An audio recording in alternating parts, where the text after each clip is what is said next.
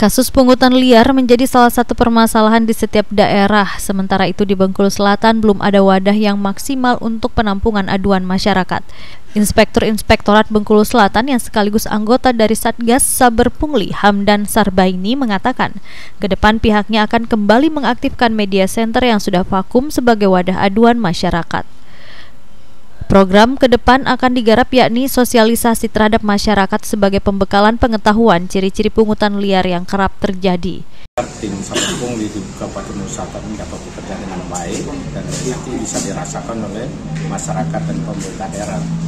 Hanya mulai dari pada media centernya proses laporan dan sampai ke proses penindakan nanti akan kami sosialisasikan dengan petunjuk-petunjuk dari tim